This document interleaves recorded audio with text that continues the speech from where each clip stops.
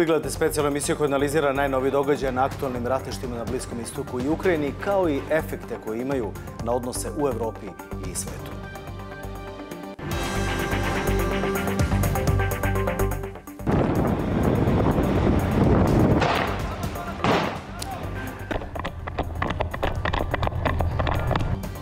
Prekinuti mirovni pregovori u Gazi. Delegacija Hamasa na zahtev posrednika ostala u Kairu još jedan dan.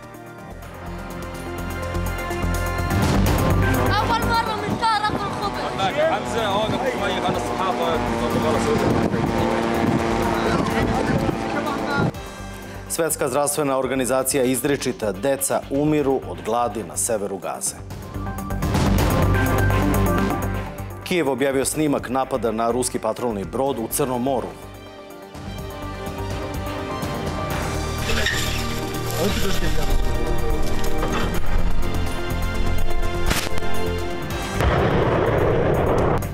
Vojska Ukrajine je napala rusku železničku stanicu.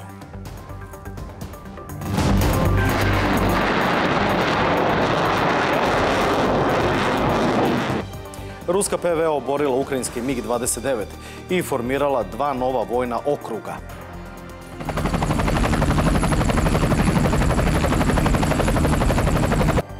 Poljski predsjednik gledao najveće vežbe alijanse od hladnog rata i rekao da je spreman da brani svoje partnere u NATO.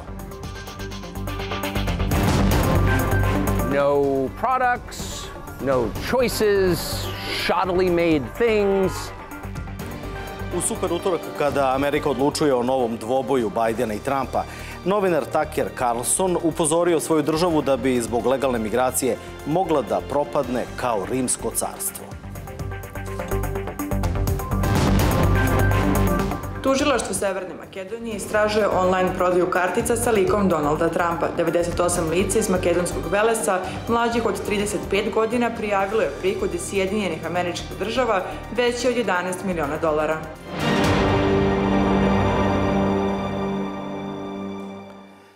Ovo su samo neke od tema o kojima će govoriti naši gosti. General profesor dr. Boždar Forca, osnivač Srpsko-Ruskog pokreta Slobodan Dimitrijević i novinar Roman Merdanović. Hvala vam što ste ovde, dobreče i dobrodošli. Dobroveče.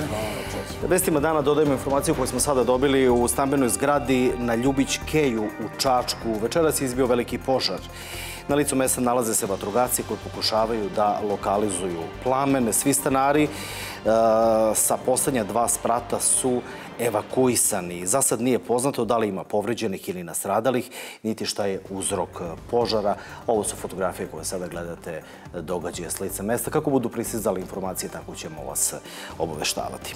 Počet ćemo razgovor za tačno 10 minuta.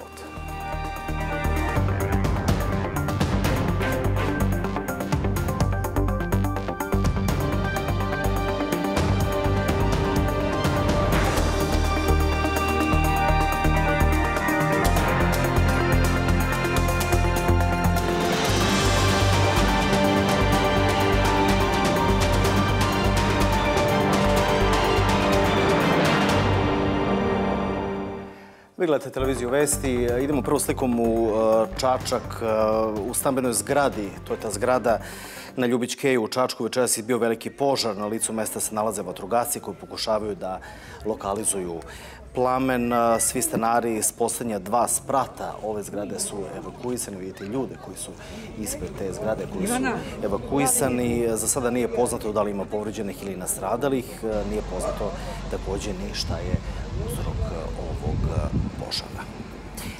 Hvala vam, vam još jedno što ste e, došli. Pa profesore, e, da otvorimo našu temu, pregovarači Hamasa ostaće u Kairu još jedan dan na zahtev posrednika, nastavit ćete pregovore o prekidu vatra u Gazi, pa da li je onda stvarno Hamas glavna kočnica u prekidu vatre? Šta kažete vi? Pa verovatno, mislim, pazite, moramo krenuti ipak od ciljeva koje je postavio Izrael i mislim da Izrael će nastojati da ovaj da te ciljeve ostvari, znači da očisti gazu od Hamasa, da je demilitarizije, da više nema pretnji i mislim da oni će istrajati na tome što pokazuju i njihov tog dejstava. Verovatno pritisci svetske javnosti, pa i Amerike u određenoj meri, ipak način na koji Izrael do sada vodi dejstva, pokušavaju malo da da kažemo, ublaže, sad dovodeći to u vezi sa Ramazanom, što nije presudno.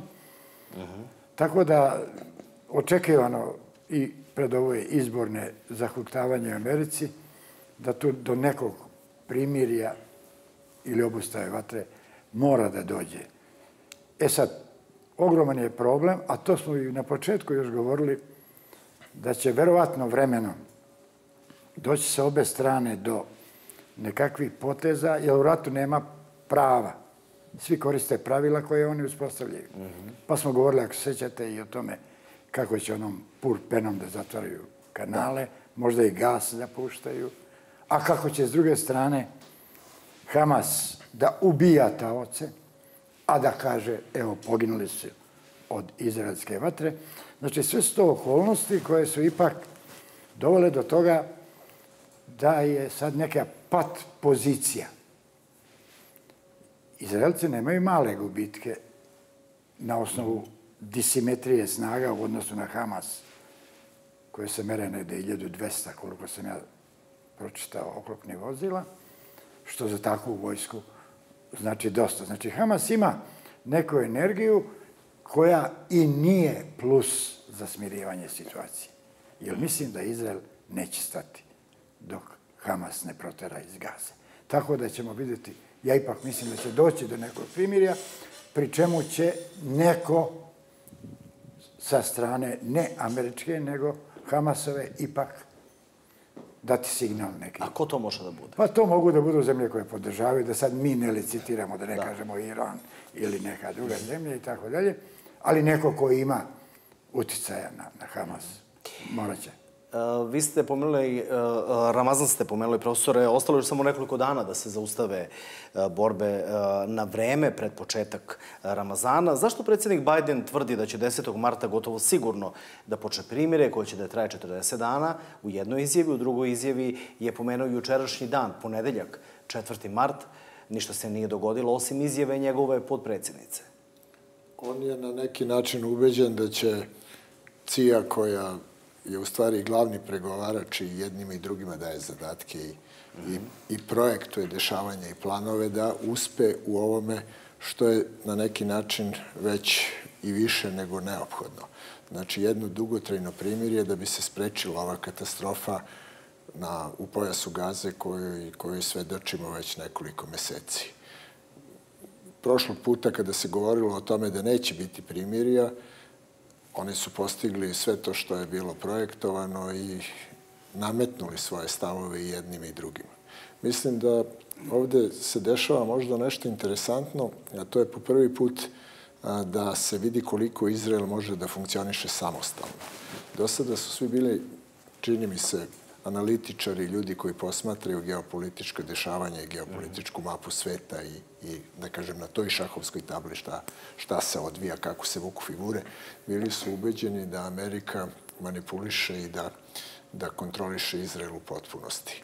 Pokazuje se da možda ono što upravo njihovi visoki zvaničnici, da kažem, ne javno, ali, ali govore u u tome kada predstavljaju svoju snagu i svoju opciju, izgleda da, da je Izrael možda najmanja država na svetu sa najvećom kolonijom na svetu, Amerikom. Tako da ne čudi me i da kažem ta, ta njihova, uslovno rečeno po znacima navoda, neposlušnost, neprihvatanje da, da proglase primirje, iako zaista nisam ubeđen da američka inicijativa da je potpuno iskrena i da da tu se ne radi o koordinisanim, koordiniranim akcijama. Zahtevi koje Izrael postavlja Hamasu su obično nemogući ih ispuniti. Znači, ona ideja da se dostave spiskovi svih preživelih talaca, Hamas je sam, njihovo rukovodstvo konstatovalo da oni ne znaju koliko je preživelo upravo zbog svega onoga što se dešavalo, onih bombardovanja, raketiranja i tako dalje, i stalnog povlačenja. Ali su u, drugoj, u drugom delu te izjave rekli ne dajemo besplatno takve informacije. A i to je na neki način opravdano. Znači, oni, oni imaju zaista jednu autonomnost u ponašanju, bez obzira na utice, na primjer, utice jednog Irana, koji je sasvim sigurno neuporedivo jači od Egipta. I tu se možda i među njima na neki način e, možda želi da pokaže ko zaista može da doprinese. Vidite ovih dana da se sve više govori o tome da verovatno ako bi Rusija uzela direktnu ulogu posrednika u tome da bi se postigli bolji rezultati. Sasvim sigurno da bi, kao što na kraju krajeva rezultat koji će se postići, pre svega će zavisiti od Amerike i od njenih bezbednostnih službi. Najnove vesti iz Jerusalima. Izrael će u prvoj nedelji muslimanskog praznika Ramazana dozvoliti dolazak istog broja vernika u Jerusalimsku džamiju Al-Aqsa kao i prethodnih godina, saopšteno je večeras iz kabineta izraelskog premijera Netanjahua. Ova odluka je doneta u dogovoru sa najvišim izraelskim bezbednostnim zvaničnicima tokom sastanka u pripremama uoči Svetog muslimanskog meseca posta bez navođenja preciznog broja vernika kojima će biti dozvoljen dolazak u Al-Aksu, e, prenosi e, Reuters. Pa ima li Hamas e, snage, vratimo se njemu, ali i pravo da zahteva da se humanitarna pomoć velikih razmera dozvoli u pojasu Gaze i da se raseljenima sa severa enklave dozvoli povratak? Pa Hamas ima snage da zahteva tako nešto, budući da smo pre nekoliko emisija potvrdili tu informaciju koju sam iznao da je oko 70% ljudstva a, vojnog ljudstva Hamasa još uvek nataknuto. A, sa druge strane, što se tiče povratka civile, ja mislim da od toga nema ništa, bar ne u skorije vreme, budući da od početka rata, da podsjetimo gledalce, upravo to palestinsko stanovništvo i ti civili u velikoj meri egzistiraju između dve vatre. S jedne strane između IDF i izraelskog rukovodstva koji ih tera i koji im daje rokove da se isele sa svojih, slobodno možemo reći, vekovnih ognjišta pod pretnjom da će biti bombardovani upravo ti ciljevi koje je IDF tamo prepoznao.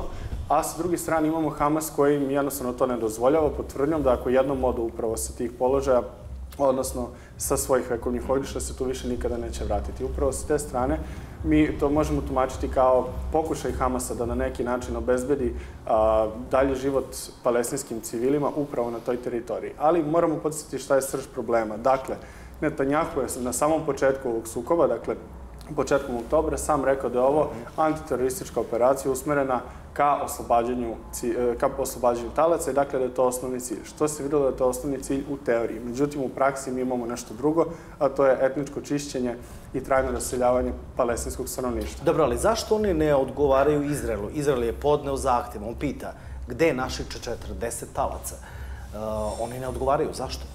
Pa, zato što oni takođe kao Izrael ne žele besplatno da dele takve informacije. Mislim da to jeste jedan, uh, jedan od razloga i da traže neki ustupak a, u, u, u pogledu uzvrata informacija šta je sa palestinskim zarobljenicima i sa zatvorom za palestince, za palestinsku decu i obične civile, dakle, koji nisu deo Hamasa. Mislim da je cilj a, a, tog problema a, upravo to što Hamas a, kao svog glavnog sagovornika i dalje gleda Izrael, umesto da se obrati s jednim američkim državama, što je kao što vidimo u trendu poslednje vreme, jer upravo dok mi pričamo, traju konsultacije katarskih posrednika sa a, Blinkenom i mislim da je na taj način Hamas preko posrednika upravo prstom tačno u pravi izvor problema, odnosno svog pravog sagovornika. I da Sjedinje američke države u svojim rukama trenutno imaju tu skalu tolerancije. Dakle, kada oni procene da Izrael, kolokvijalno rečeno, preterao, u tom smislu mogu da upute neku a, protestnu notu ili neku oštriju izjavu. Ali sve dok je Netanjahu na vlasti, odnosno najdesnija vlada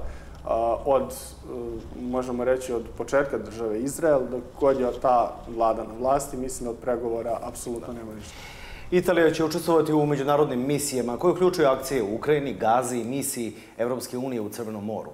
Misija Levante ima cilj bavljenje potencijalnom eskalacijom sukoba između Izraela i Hamasa, uključujući i humanitarne intervencije u korist civilnog stanovništva te oblasti. Evo što kaže ministar spoljnih poslova te zemlje.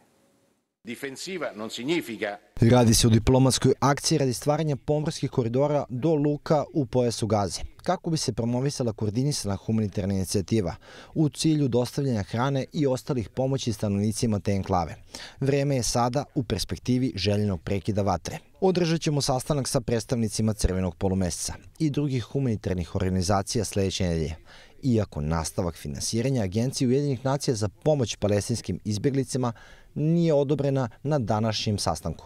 Italija usvojila rezoluciju za podršku Ukrajini, a one uključuju savjetodavnu pomoć za reformu civilne bezbednosti, poboljšanje stanja u oblasti ljudskih prava i tržišne ekonomije, kao i jačanje vladavine prava i borbi protiv korupcije. Proces ima cilj da doprinese procesu približavanja Kijeva Evropi zarad zaštite i obnove slobodne plovidbe u Crvenom moru tokom napada jemenskih huta. Italija je zvanično odobrila evropsku misiju.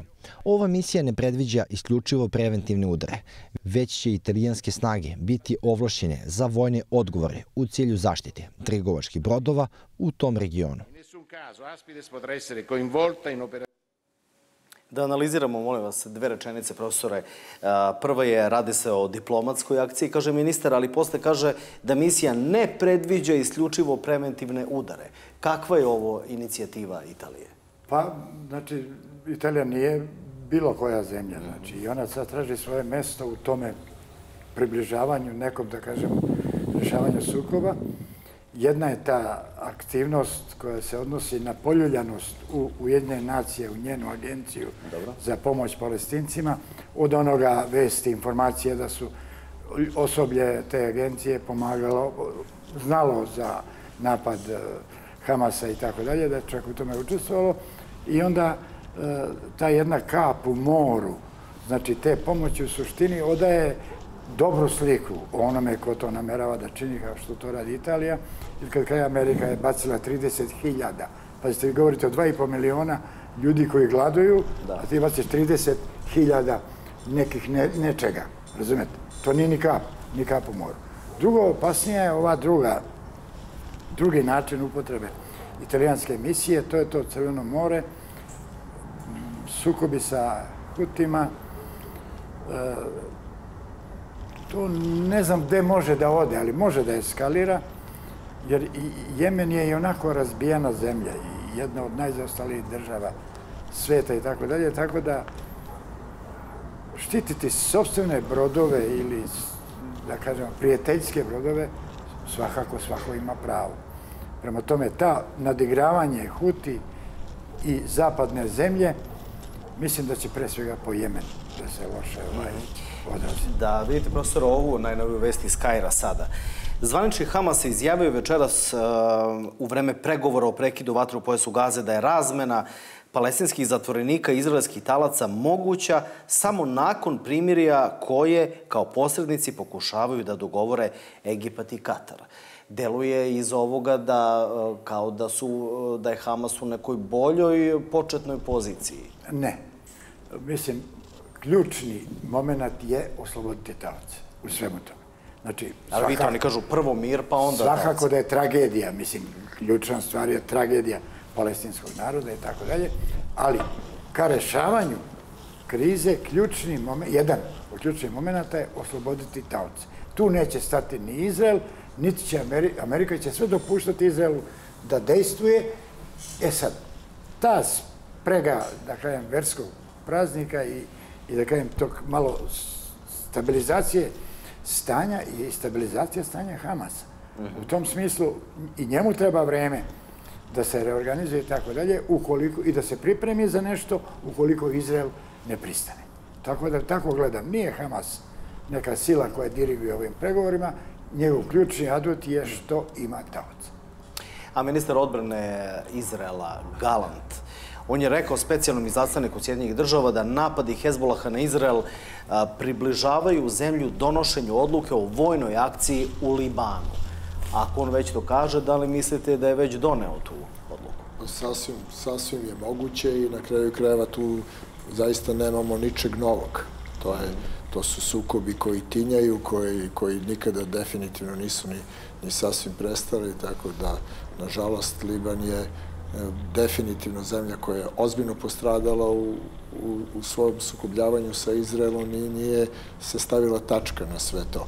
Hezbollah je neuporedivo snažnija i vojna i politička opcija od Hamasa i na kraju krajeva ukoliko ozbiljni, da kažem, svetski kreatori dešavanja i nestabilnosti, a posebno u pojasu i ne samo Gaze, nego Bliskog istoka, imaju interesa da ovo traje, a da, da ne smatraju da je dovoljno intenzivno dešavanje, potpuno je moguće da se taj prostor A kakva je to odluka? Da li je to racionalna odluka ili nije? vidite, sve zavisi sa aspekta ko, ko, ko posmatra i šta se treba da postigne. S naše tačke gledišta zaista nije racionalno i one, i to, je, to, to su katastrofalne odluke.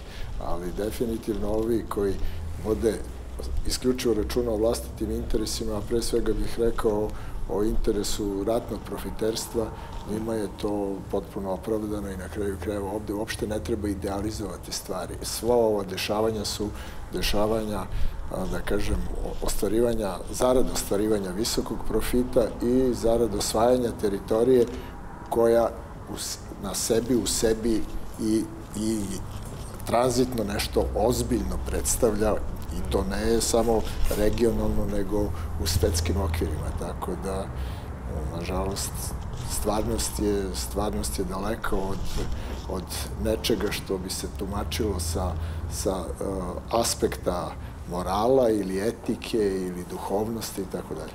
Svetska zdravstvena organizacija saopštava da su deca na severu pojasa Gaze kritično, da su mnogo izgladnela, da mogu umreti ukoliko odmah nestane vatra. Pa šta vi kažete na činjenicu da je već desetoro dece umrlo zato što nije imalo ni hranu, ni vodu? To je ogromna tragedija koja pokazuje dve stvari.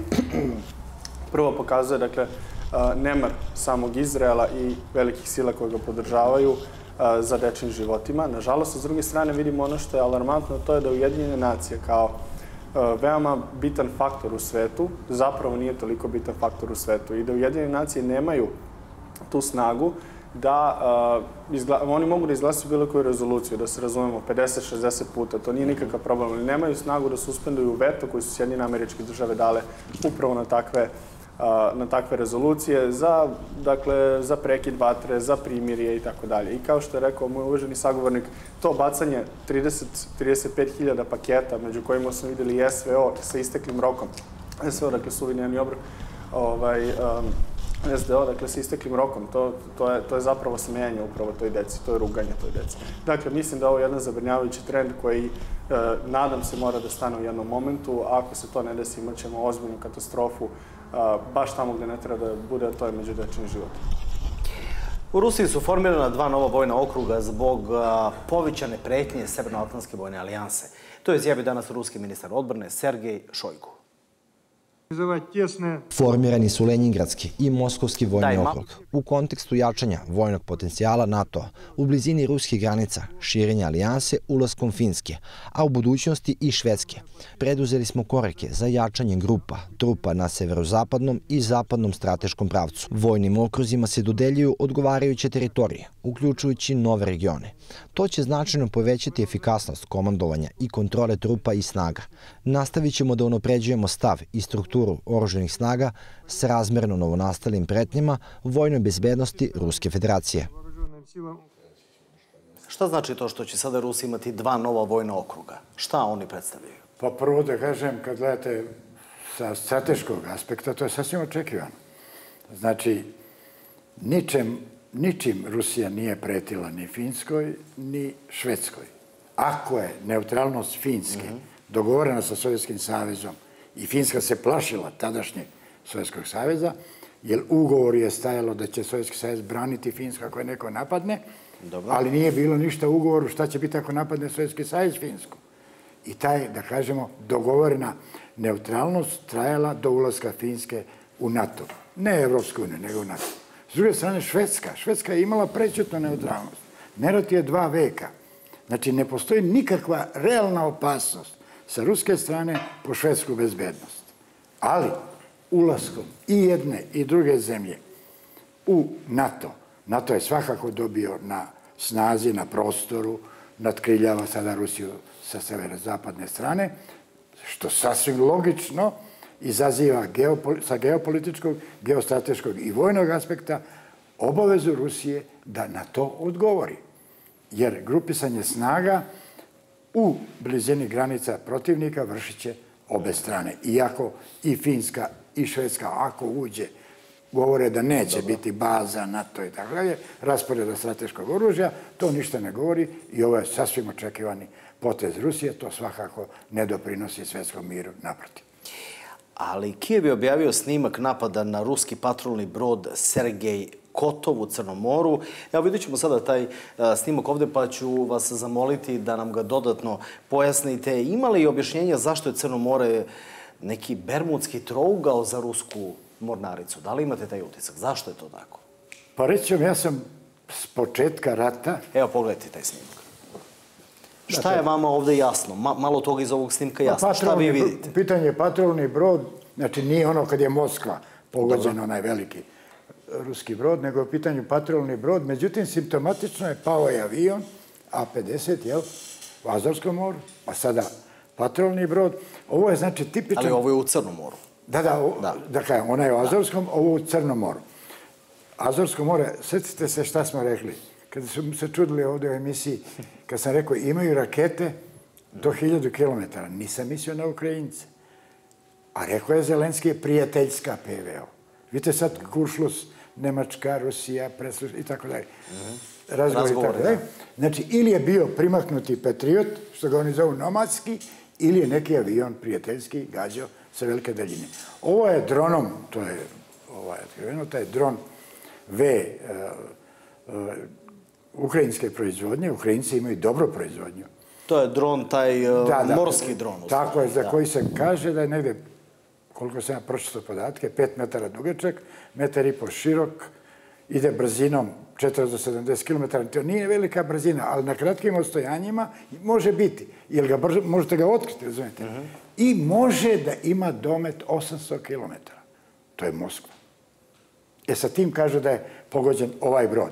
Znači, ovde je u pitanju, ništa ne uspeva kao uspeh. Osvajanje Vavdejevke, Rusija dobila krila. I videli se odmah brza pomeranja. Ne velika, ali pregrupisavanje snaga na terenu i Rusija očigledno ide da izađe na administrativne linije osvojenih prostora. S druge strane, Zelenski nema pomoći Zapada i to je tipičan asimetrični pristup. I železnička ona stanica u Rusiji i ovaj brod i tako dalje. Znači, očekivati je ovakve vrste koje ne mogu rešiti rat, ali mogu doneti neko, da kažem, psihološko dejstvo i kod protivnika i kod... Kako je ovo snimljeno, profesore? Šta mislite? Vidite da a, imamo dva objekta. Prvi je a, dron koji pogađa cilj, a to je brod, vidi se požar, a drugi je ovaj objekat sa koga se snima. Vidite da ima a, krstiće. Reklo bi se da je i taj objekat blizu, Moguće s obzirom da i to na to da je noć. Znači, moguće je da, da isto neki drugi dron to snimao. Drugi. I, ili ne vjeruje da je to stabilna stanica sa koje je taj dron lansiran, iako ovo je Crno more, taj trougao što kažete, Bermudski, e, ja sam govorio pre i dalje ne mogu da se otmem utisku da Rusi svesno nisu ili dogovorno s nekim napali Odesu. Ne vjerujem da nemaju snagu, jer najkritičnija tačka i dalje za Rusije je Krim. A jedino može biti napadnut iz Odese i s mora. Razumete? Rusija je desno, istočno, jel? Pripajanje ovih teritorija spojila kopnom sa Krimom. Sad toliko nije bitan Krečka most da veže Dobro. sa Krimom, ali jeste od Odese uvek preti opasnost i to će Rusija morati da. I videli ste ovih dana i odgovor na rušenje jednog aviona i tako dalje, da je prvo gađana Odesa, sad nažalost pogođeni su civili i deca i tako dalje, ali toga će sve više biti. Tako da nisam siguran da će ostati Crno more kao otvoreni izlaz Ukrajine. Dobro. Kakav je vaš stav o ovom događaju? Kako je moguće da tako lako Rusi gube deo po deo flote koja zaista jeste ruski ponos? Da, Šta se ali dogodilo? Vidite, ovde se radi o patrolnom brodu, to, to znači to nije, nije admiralski brod. Definitivno. sa- Da, da, tako je. To, to je brod koji, koji se nalazi dnevno na zadacima izviđanja i tako dalje i prosto on jeste ugrožen. I vidim da su bili fascinirani e, izveštajima e, koji su naravno od strane Ukrajinaca prezentovani da je njegova vrednost 65 miliona eura. Znači, evo, sama ta činjenica da to je naravno veliki novac, ali ne radi se o tome da, da je ne znam šta, nego je brod u pitanju. Znači, to, to spada u malo plovilo, ono, ono je na dnevnim zadacima i ono je zaista i najugroženije. Ja ovo uopšte ne vidim kao neki veliki uspeh. Činjenica je da je na kraju krajeva crnomorska flota definitivno ugrožena, zbog toga i došlo do izmeštanja od određenog broja tih brodova da su, da su povučeni na Baltik i, i na sever dalje i tako dalje, tako da ono što se treba da sačuva, mislim da, da će oni sačuvati i ovo ne spada u neke, u, u neke velike, da kažem, gubitke katastrofalne. Ono što mi se nije dopalo, da kažem, u, u, sada u ovome što sam posmatrao, ova upravo izjava se, Sergeja Šojgu, ako mogu da se vratim, ako nemate ništa protiv. Znači, ona, ona pokazuje da upravo formiranje ove dve oblasti, da s jedne strane oni osjećaju da su ugroženi i da sumnjaju da može da dođe i do nekontrolisanih napada u dubinu ruske teritorije. On je pomenuo, znači, Moskovsku i San Petersburgsku oblast i pripajanje određenih oblasti, što, što znači da oni preuzimaju odgovornost i morat će da brane te, te, ta da kažem, ne samo prigradska, nego teritor, teritorijalno i bliska, Šta vas tu brine? bliska područja. Pa brine me jednostavno uopšte e, da, da, to, da moraju da, da se bave takvim stvarima, što znači da postoji realna opasnost i da po dubini teritorije Ruske dođe do nekih udara. Dakle, oni su alarmirani ovim izjavama koje smo slušali pre svega od francuskog i nemačkog predsednika o, ovim mogućim, da kažem, obećanjima da će se aktivno da uključe u delovanje i u pomoć ukrajinskoj vojsci i svojim vojnicima, a na kraju krajeva i svojim oružjem.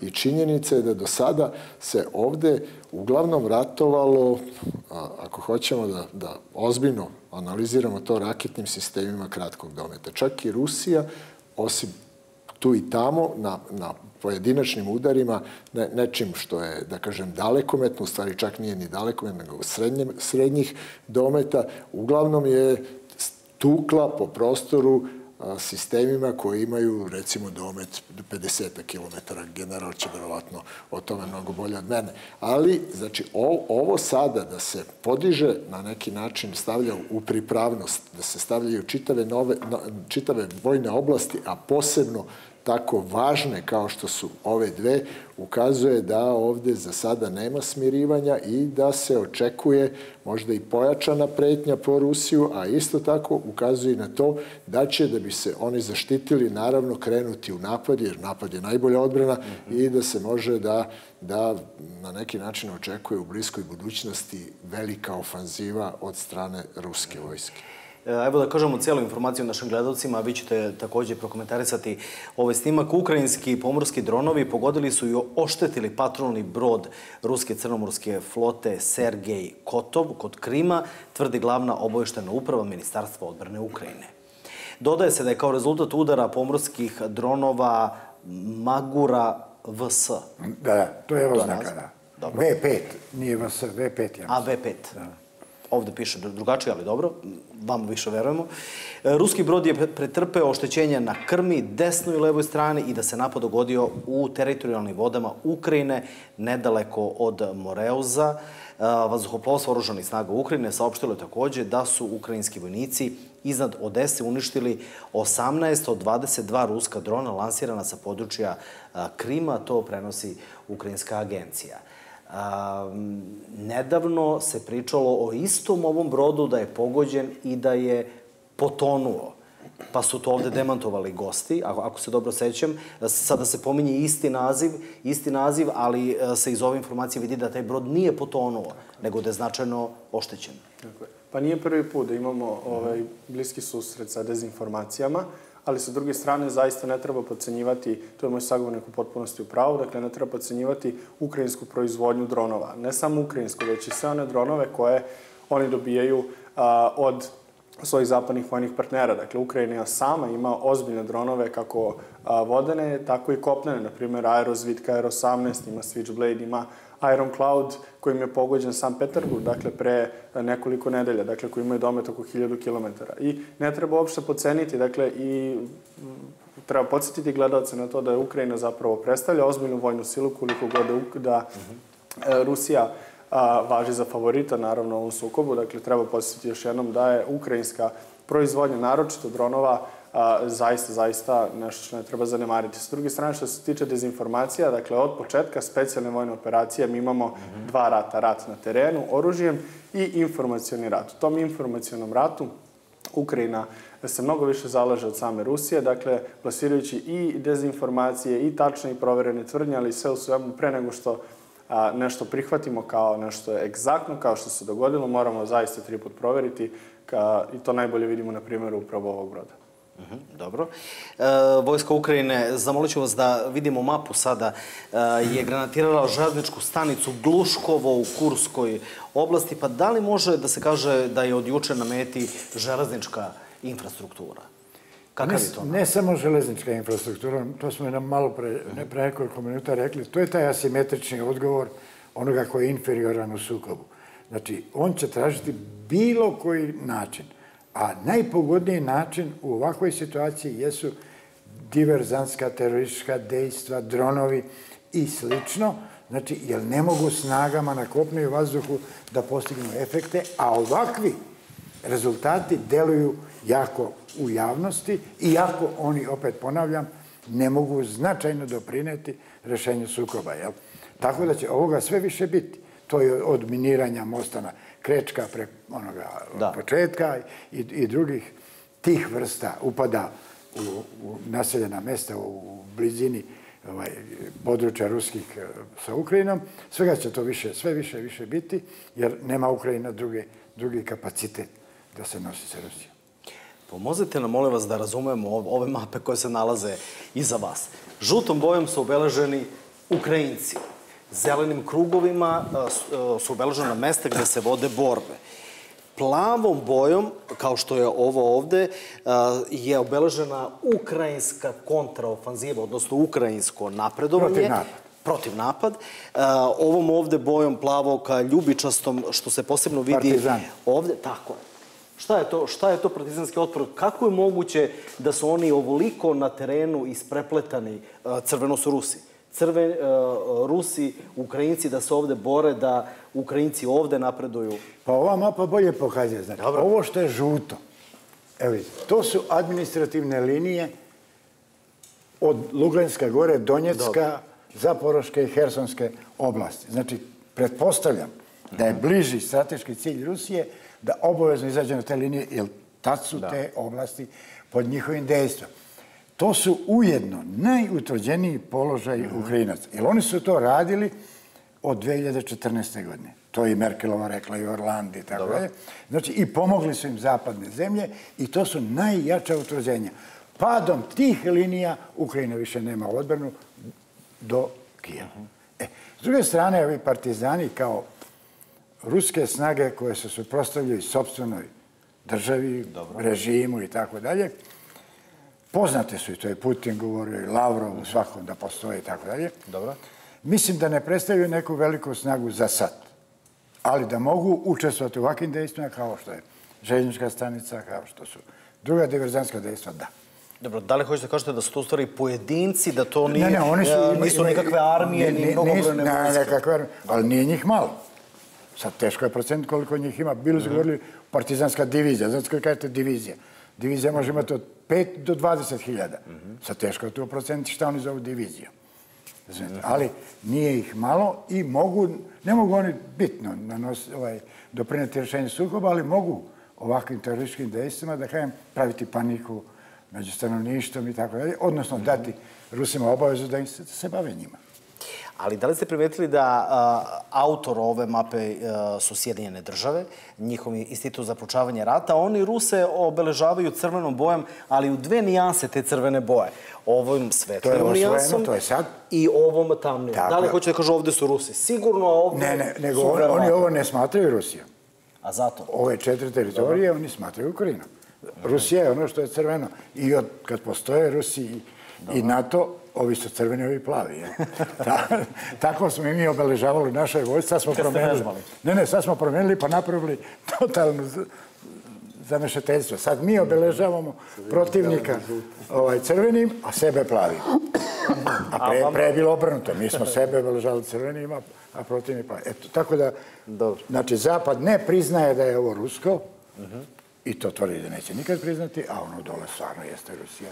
E, Možda Pre. jasnije ovde na ovoj mapi da se vidi taj, e, kako amerikanci kažu, partizanski otpor. Da li je moguće da je on ovoliki zaista? Ne, to je regija, regija u kojoj se oni nalaze, a, a njih je nekoliko hiljada. Ajde, da uzmem taj podatak. I ni- nisu oni samo tu. Znači, oni su vjerojatno po celoj teritoriji. Sad druga je stvar tog upravljanja sa njima, direktiva, odakle dolaze, ali to je savremeni sredstva ovaj, veza i tako dalje to omogućavaju, ali jesu je to opasni u tom psihološkom smislu, ne u nekom rešenju sukoba dugoročno posmatra. Danas na ovoj teritoriji Rusi obaraju jedan ukrajinski MiG-29. Tako je to. E, Da li to znači da, da oni potpuno vladaju ovim vazdušnim prostorom, Da, za, ra- za razliku to mi- od ovog morskog gde se vidi da ima ruskih gubitaka? To mi kažemo, imaju prevlast u vazduhu. I tu Rusi imaju prevlast. Znači, na kompletnom ratištu, na ukrajinskom vazdušnom prostoru i okolo njega Rusi imaju prevlast u vazdušnom prostoru. To je, to je jednostavno činjenica, jer raspolažu moćnim i avijacijom i PVO sistemom. Dobro, ali odakle mogu da, da poleti taj MiG-29 kada Rusi tvrde, a i Ukrajinci malte ne to potvrđuju, da tamo nema ni jednog aerodroma, ni jedne poletno-sletne staze uh, za vojnu avijaciju? Pa to sam ja govorio u nekoj emisiji, pa sam se onda malo ujeo za jezik, znate. Dobro. U, kad počinje rat, svaka ozbiljna zemlja, Možemo se a vratiti. kad je u pitanju njena avijacija, ima rešenje B. A rešenje B je prebazirati avijaciju na teritoriju prijateljske zemlje. Pa sam ja to rekao u jednoj emisiji, onda su me prozivali, da sam rekao Poljska, Litvanija, nisam rekao, rekao nijednu zemlju. Ali gotovo bih smeo da tvrdim da je ukrajinska avijacija sklonjena u neku od zemalja koje je podržavaju. Otuda oni lete ponekad, jel, mada oni znaju da svaki let je rizičan, da će biti oboreno kao što se dešava najčešće. Autoputevi, a utabane, dobro utabane i pripremljene zemljane površine takođe mogu da budu poletno Autoput, da, da, pa to, to se i ciljno pravi u miru se i kod nas isto. Autoput se tako projektuje da na određenim deonicama avioni mogu da sleću na njega. Ali pazite, nadzvučni avioni, kao što su MIG-ovi i Suhoji i tako da je slabi autoput za njih. Možete zamisliti koliko nje treba jednom Suhoju da trebali svi da, da dva dana ranije narede da niko ne ide na autoput da Suhoj sleti i tako. Tako da to je više za ovu, da kažem, bombardersku avijaciju manjih brzina. Vidite da Ukrajinci ne prestaju da šalju dronovi bespilotne letelice na rusku teritoriju, pa kako vi to vidite kao kompenzaciju za gubitke na prvoj liniji fronta i kompenzaciju za ovo što se dešava u Crnom moru? Ili jednostavno kao jedan novi oblik ratovanja i relativno jeftiniji, bezbedniji, svakako ne, ne ugrožavate ljude. To je letelica koja naravno da košta nešto, ali je mnogo, mnogo manja šteta ako se, isto tako svedoci smo, da se one dnevno obaraju i s jedne i s druge strane, na kraju krajeva u, u desetinama komada. Tako da to je logično, logična operacija. Činjenica je da se Ukrajinci žilavo bore i da pokušavaju da, da ostanu na ovom frontu. Znači, bez obzira na velike gubitke i u ljudstvu, na gubitak teritorije, na Avdejevku, na pokrenute nove, nove žestoke da kažem, žestoka borbena dejstva od strane ruske vojske na, na novim teritorijama, oni su tu i uzvraćaju onako kako mogu. Činjenica je da im po njihovim rečima i po, po izjavama njihovog rukovodstva nedostaje pre svega raketne municije i da oni priželjkuju te rakete srednjeg dometa ili za njih dugog, znači nešto što može da leti i, i recimo hiljadu kilometara. Ali jednostavno ratuju onim, onim čime raspolažu i ono što a, definitivno nije dobro i dalje najavljuju a, slanje novih trupa. Pojavile su se informacije da, su, da, da se Amerika pitala sada sa dolaskom novog komandanta, znači e, šta se dešava sa onim mobilisanim ljudima koje su oni objavili da su mobilisali. Tu se pominje čak neka cifra od 700.000 vojnika kojih nema. Tako da za očekivati je da će oni morati da popunjavaju kako god znaju i umeju te svoje snage naravno svedoci smo ovih dana bili da se intenzivno govori o tome, o, o pomoći od strane Evrope i, i na kraju krajeva u povećanoj proizvodnji raketnog raketne municije, raketa koje bi se isporučile njima, posebno je Nemačka bila aktivna u svemu tome, ali isto tako svi su veoma svesni činjenice da april, kraj aprila, možda maj i sasvim početak juna da će se izmeniti situacija na frontu i da će Rusija preduzeti ozbiljne, ozbiljne korake u, u osvajanju novih teritorija u velikim prodorima. Nemački ministar odbrana je rekao danas da, iako je Rusija snimila razgovor dvojice oficira Bundesvera, da komunikacione sisteme Nemačke, kaže on, uopšte nisu kompromitovani, jer je Rusija verovatno taj razgovor presrela uh, slučajno. Pa kome služi ova izjava? Domaćoj javnosti, vojsci ili nikome? Pa najviše domaćoj javnosti, najviše nemačkoj vladi Olafu Šolcu na njenom čelu, budući da se u poslednje vreme nalazi u veoma nezavidnoj situaciji i ova izjava samo pokazuje koliko je on nepripremljen za tu poziciju. Dakle, s jedne strane on kaže da su to obavešteni podaci, a s druge strane da ih je Rusija slučajno presrela. Nije mi jasno u kojoj zemlji sa uh, razvijenom vojnom infrastrukturom tako nešto može da bude moguće. Uh, sa te strane, najverovatnije da su, Rusi rade tiho, da imaju veoma dobru špijonsku mrežu, što se pokazalo i u Kaliningradskoj oblasti na kraju krajeva. Mhm. Treba podsjetiti da tamo imaju instaliran sistem Tobol koji je takođe ovih dana dospio u žižu javnosti nakon tog elektronskog ometanja aviona. Kao, taj sistem se navodno koristi samo za a, ometanje civilih, odnosno komercijalnih letova, odnosno, ne, njih ne sme, ali samo za vojne letove, pardon. I sa te strane to budi određeno zabrinutost kod Evrope, odnosno evropskih građana i neki od zvaničnika je morao da se oglasi, u ovom slučaju to je bio Ola Scholz, kako bi, ponavljam, spasao sebi mesto i opstao u, u ovoj mhm. vladi. Ali vidite, da li ste primetili da danas upravo Scholz kaže da je jedan od oficira koristio telefonsku vezu koja nije bezbedna. Dakle, hoću da kažem, niko više ne demantuje e, i ne ulazi u pitanje da li je ovaj snimak istinit ili nije. Tako je, pa u početku su demantovali. Da. Na kraju krajeva to je šteta sa odloženim dejstvom.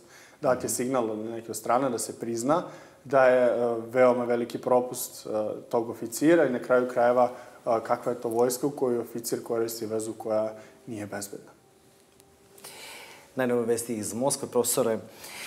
Rusija je saopštila da je danas podigla lovca da presretne tri francuska vojna aviona koji su se približavala njenoj granici iznad Crnog mora. Taj incident je demontovao francuski vojni izvor. Rusko ministarstvo odbrane je saopštilo da su se pri prilazu ruskog lovca strane letelice okrenule nazad, precizirajući da se radilo o dva Rafala i jednom radarskim avionom francuske vojske.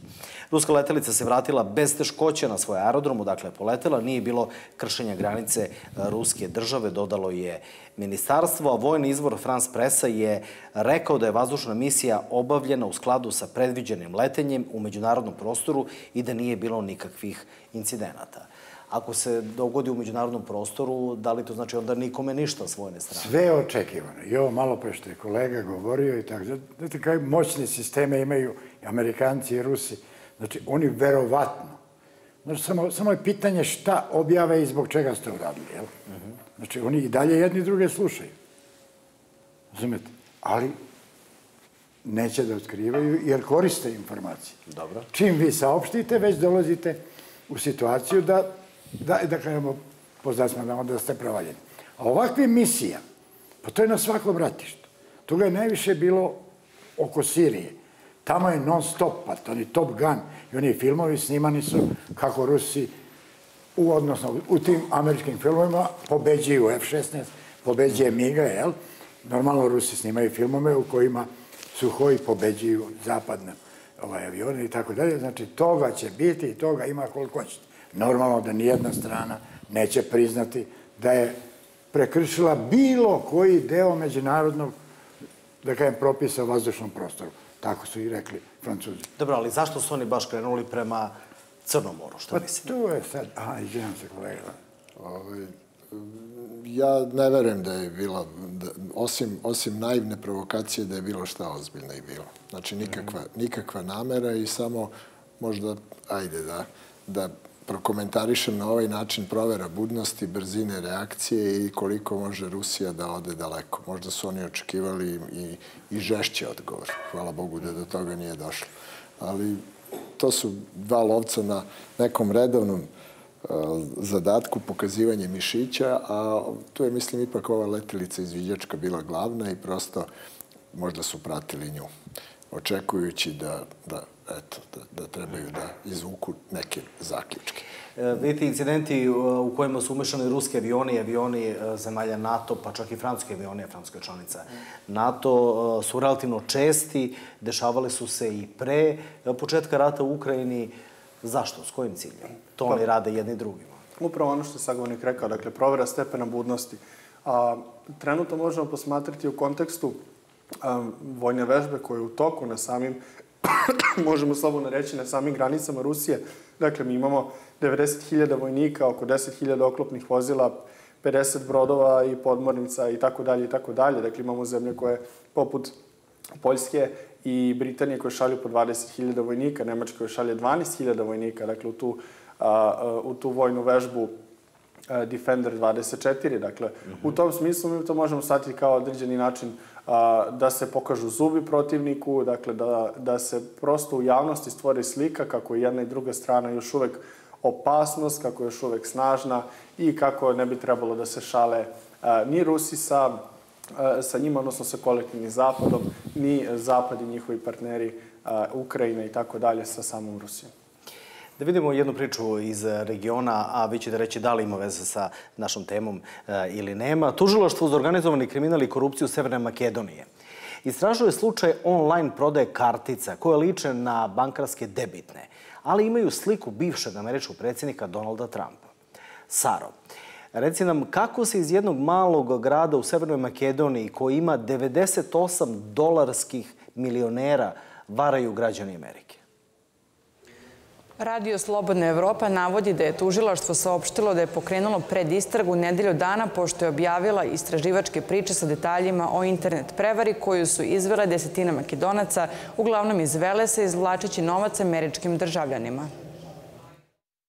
Posle višemesečnog istraživanja, novinari Radija Slobodna Evropa otkrili su online prevaru koju izvode pojedinci iz gradića Velesa. Oni reklamiraju lažne proizvode sa likom bivšeg američkog predsednika Donalda Trumpa, za koje tvrde da će američkim patriotama doneti milione kada se Trump vrati na vlast. Na prodaju su zapravo ponuđeni potpuno bezvredni proizvodi, kartice nalik na bankarske novčići, nalepnice i drugi suveniri. Radio Slobodna Evropa se ubacio u zatvorenu grupu na Telegramu, preko koje su komunicirali makedonski prodavci lažnih debitnih kartica Đilaσα. Pratio je digitalne tragove, ali dva dana pošto je objavio priču sadrže većine Telegram kanala je izbrisan. Istovremeno, veliki broj makedonskih građana koji su prodavali kartice ili novčiće sa likom Donalda Trumpa povukli su svoje proizvode sa platforme Cope Card preko koje su ih prodavali.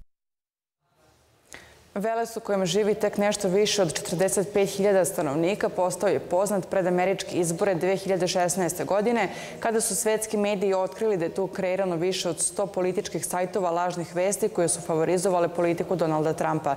Sajtovi su koristili sadržaje sa ekstremno konzervativnih blogova i reklamirali ih putem Facebooka, generišući milione pregleda mesečno. Kroz novu šemu za prevare sada je reklamiran izmišljen monetarni sistem nazvan TRB, Trump Rebate Banking System. Podacima Makedonske uprave javnih prihoda pokazuju da je za posledice, za poslednje dve godine 98 lice iz Velesa mlađih od 35 godina prijavilo prihode Sjedinjenih država u iznosu većim od 11 miliona dolara, a najveći deo je od marketinga i internet usluga. Sređene?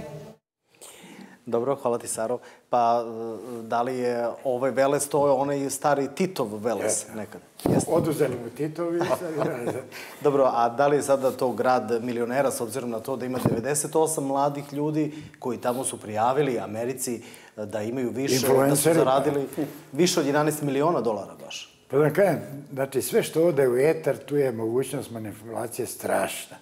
Ja nisam neki stručnjak za tu, ali pošto na mom fakultetu ima i fakultet za informacijne tehnologije, onda ponekad prisutuje kada studenti brane diplomske radove iz, iz te branše i tako dalje. Jednom sam slušao baš jedan zanimljiv podatak tih mahinacija na internetu gde je dečko pokazao da, dečko, izvijem se, student, jel, pokazao da znanje kojim raspolažu ti koji se bave zaštitom, je doseglo do toga da je svega 5% mračne upotrebe, da tako kažem, interneta otkriveno. Možete zamisliti koja je tu onda ta dubina, taj prostor, u šta sve sve mogu koristiti te mahinacije na internetu, prevare i tako da ovo spada u jednu sitniju da kažem, krađu. Dobro, ali sa kojim implikacijama? Da li to Severna Makedonija iz ovog grada sa ovih 98 milionera je na strani republikanaca, a sve to otkriva Radio Slobodna Evropa iz Praga, koja je na strani demokrata. Da li je to taj sukob sada? Pa ne verujem. Mislim da ti što manipulišu na internetu nisu republikanci, nisu demokrate, nego gledaju gde više mogu zaraditi, mislim. Mm -hmm. Sad je Trump popularan i onda normalno njegova slika da će kod, da kažem, oni koji se uvate, da, od nacionalna navoda na to, biti prihvatljiva, jel, primamljiva, jel? a prodaju nešto sitno, nije skupo. Tako da je to ta, mislim da je ta logika. Ne vjerujem da su to demokrate i republikanci, jedni Dobro. drugima pravili, pogotovo da su makedonci baš tim za jednu stranu. Dobro, a da li će Skoplje, ako Trump bude novi predsjednik Sjedinjih država, moći da se pohvali time, pa evo naši ljudi odavde iz Velesa ja, su ja, ja, ja, ja, moje mišljenje se razlikuje od, od mišljenja Dobro. generala. Ja mislim da da je ovo dobro smišljena akcija i videli smo da ima i tradiciju, da znači deseta godina unazad na ist, u istom gradu i verovatno ista ekipa ili možda malo podmlađena funkcioniše na sličan način. Znači koristi dobru priliku. Činjenica je da Makedonija ima jaku dijasporu, makedonska dijaspora u Americi je značajna, to su vredni ljudi, radni, ali dobro raspoređeni tamo i verovatno i ne prate, Bog zna koliko ono što se dešava i, i da kažem IT, IT napredovanje svojih sunarodnika koji su iskoristili tu mogućnost i napravili karticu. Niti su ove kartice nešto novo. Znači, to je, da, prevare te vrste su relativno poznate, na kraju krajeva i, i sam svakog hakera je da na neki način uleti ili u sistem ili ovi koji osmišljavaju i bave se financijama da na ovaj način nešto sprovedu. Činjenica je da se da očekuje dolazak Trumpa i to je dobra procena, znači oni su, da kažem, investirali u pravu stranu, to, to se isplatilo mhm. kao, kao što vidimo, rizik je urodio plodom, tako da mladi ljudi postali milioneri, nekim je se sreća.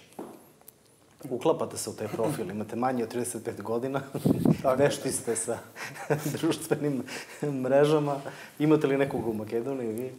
Imam dosta prijatelja i rekao bih da ovo je jedna a, vrsta dugotrajnih finansijskog ulaganja koji će svoje rezultate finansijske, naravno, pokazati tek u, u novembru, dakle, ako Donald Trump pobedi. Dakle, ako je neko zaista računao na to svaka čast, mada ja volim da posmatram stvari malo drugačije, da se vratim u prošlost. Dakle, Makedonija je uh, u velikoj meri poznata kao zemlja u kojoj smo tokom najezde novih mahinacija oko kriptovaluta, dakle bila uporište upravo takvih mahinacija i s tim u skladu veoma sam saglasan sa sagovornikom kada on kaže da je to jedna uigrana vrsta mahinacija, dakle i ovaj, uigrana ekipa ljudi. Ali vidite, u danu kada Amerikanci odlučuju o predsjedničkim kandidatima, američki novinar Tucker Carlson upozorava svoju državu da zbog legalne migracije može da propadne, kaže on, kao rimsko carstvo. Da li on izlazi iz profesionalnih okvira ili, pošto je dobio otkaz, sada može da priča šta god želi? Pa, moj kolega Tucker Carlson u velikoj meri se sveti Fox Newsu upravo zbog svega onog što je da. Fox News njemu priredio i vidi se da ne poznaje istoriju. To se videlo i u, u intervju s Vladimirom Putinom. Dakle, Rimsko carstvo između ostalog nije propalo zbog toga, već zbog Bahanale i Bašibozluka samih ljudi na vlasti u Rimu, jel te? Ali sa druge strane, to jeste jedna vrsta uh, osvete i upravo ta priča oko priliva imigranata, stranaca i uh, drugosti, kako se to uh, stručnije kaže u literaturi, jeste upravo uklapanje u Trumpov narativ. Dakle, čime on u mhm. velikoj meri pomaže a, njegovim a, glasačima da definitivno daju njemu poverenje ovog puta nad, naravno, Nikki Haley, koja ni nema svoje delegate u većini država i namjerno to spomenjam budući da je upravo danas, verovatno i u ovom momentu, odlučena sudbina republikanskog kandidata, budući da je danas taj čuveni Super Tuesday koji je bio da. a, dugo očekivan. Međunarodni krivični sud videli se da je izdao naloge za hapšanje dvojice visokih ruskih e, komandanata zbog optužbi da su počinili ratne zločine na civilima od 10. oktobra 22. godine do 9. marta 23. godine. Pa kakva je sudbina ovih optužbi? Rusija nije potpisnica, ona ne priznaje taj sud i šta onda? Pa, verovatno su se zaigrali kao i mnogo puta i verovatno zbog bliskosti Srbije i Rusije misle da ono što im je prolazilo u Srbiji da će prolaziti u Rusiji. Naravno, besmislene optužnice neće niko odreagovati, niti će bilo kakvu pažnju tome pridodati. To će se završiti na, na nivou e, izjava, na nivou informativnog nekakvog rata ko, u, u, čiju, u čiju svrhu ovo i jeste. Da li, da li su ruski oficiri negde uh, dejstvovali tako da se radi o ratnom zločinu? Verovatno i da jesu. Znači, de, definitivno rat je prljava, ružna stvar i naravno ne, ne bih uh, mogao da govorim previše, da kažem, argumentovano, argumentovano o nečemu što, što ne znam, što nisam, ne, nemam informacija, ali Rusija na to neće reagovati i to, to je ono što se kaže psi laju, karavane idu. Iz Moldavije danas je saopšteno da Rusija planira da se meša u unutrašnje stvari te zemlje, izazivanjem protesta, mešanjem u predstojeće predsjedničke izbore i remećenjem planova Moldavije za pridruživanje Evropskoj uh, uniji. Pa da li to Moldavije sada priziva rat s Rusijom? Ne. Znači, to je još 2015. godine državni sekretar američki Kerry nazvao linije vatre Moskve i Vašingtona. To je znači Baltičke zemlje, Belorusija, Ukrajina, Moldavija, Gruzija, Nagorno Karabah, odnosno Kavkaz i Balkan, gde smo mi. Amerika je sramno i deo snaga NATO napustila Afganistan i Bajdenovo vratila se Amerika, svi su čekali gde će se desiti. Amerika je morala, kao u životu, kad pogrešite, svi vas kinje, beže od vas i tako dalje, dok ne pogreši drugi. E, tako je Amerika tražila fitilj koji će da zapali. Da je zapalila Litvaniju, to bi bio sukob NATO i Rusije. Da je zapalila Gruziju, videli su 2008. kako je prošla Gruzija. Prema tome, Moldavija sitna, jedino što su mogli da upale, to je bila Ukrajina i vidimo gde su doveli. Ovo je sad nastavak tih destava, jer već poodavno ide ta priča da će Rusija napasti neku zemlju posle Ukrajine mm -hmm. i sad, ako bi to bila zemlja Poljska, Litva i tako dalje, to bi bio sukob s NATO, najlogičnije je da napadnu Moldaviju, jer tamo je Pridnjestrovlje, tamo je rusko stanovništvo tako tamo je deo ruske snaga. Vidite, Amerikanci ga ne obeležavaju na svojoj mapi. Ima, to je, to je deo teritorija prema Ukrajini i tu, tu je rusko stanovništvo. Ali oni ga zovu Transistrija. Dobro. A Rusi ga kažu, Rusi, pa na ruskoj ga zovu Pridnjestrovlje. I to je samo jedna, da kažemo, psihološka igra koja nije bez osnove, razumete? Nije bez osnove. Verovatno, ukoliko bi stanovništvo Pridnjestrovlja bilo pritisnuto, kao što su to bili Rusi u Lugansku, Donjecku, da ne vjerujem da bi Rusija to gledala blagonaklono. Mm -hmm. Isto tako ne vjerujem da bi to odmah izazvalo rat, da Rusija napadne. Ali kako tamo, profesore, žive zajedno u slozi, moglo bi se reći, uh, i Ukrajinci i Rusi? Da li zato što imaju uh, nekog zajedničkog koga ne vole, da se tako izrazimo, to su Moldavci? Gde mislite da žive složno? U Pridnjestrublju. Pa da vam kažem... Tamo ima ovaj, i Rusa pod oružjem i Ukrajinaca. Moldavija je jedna, teško reći za državu da je, u stvari ona je najsiromašnija, najmanja država bivšeg Sovjetskog saveza i u njoj je vlast dolazla te za Ruse, te za Zapad, te za, kao i u Ukrajini. Samo ne toliko češće nego što to se dešavalo u Ukrajini. I uglavnom dok je bila proruska vlast, jel, tu je situacija bila relativno stabilna, nije bilo nemira i tako dalje. Kad je dolazila ova druga strana, onda su pod ingerencijom zapadnih zemalja i pod njihovim pritiskom normalno pravili određene probleme e, koji bi mogli da eto bockaju veliku silu kakva je Rusija. Što, oni sami unutar nemaju nikakvog razloga međusobno da se svađaju, dok ih neko drugi ne zavadi. A zavadi pa vladaj, to je poznato hiljadama godina. Prema tome, kad će se upaliti ta žiška, vidjet ćemo od situacije u Ukrajini. Da li možda Moskva osjeća i zaključit ćemo time da Moldavija preko reda i na brzinu želi u NATO? Pa Moldavija je dobila status kandidata što se tiče e, Evropske unije. Međutim, od kad je primljene Finska, Austrija i Švedska, pa došle na red socijalističke države, nijedna država nije primljena u Evropsku uniju pre nego što nije ušla u NATO.